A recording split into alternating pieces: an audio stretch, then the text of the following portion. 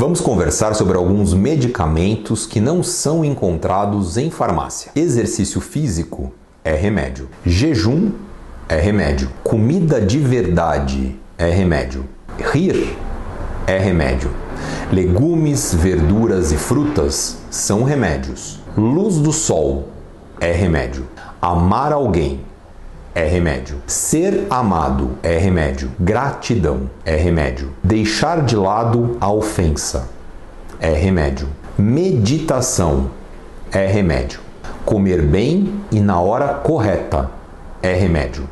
Pensar positivo e manter o estado de espírito bom é remédio. Confiar e acreditar em Deus é remédio. Bons amigos são remédios. Ser perdoado e perdoar também são ótimos remédios. Utilizando esses remédios com uma certa frequência na sua vida, eu tenho certeza que você vai precisar muito menos dos remédios de farmácia.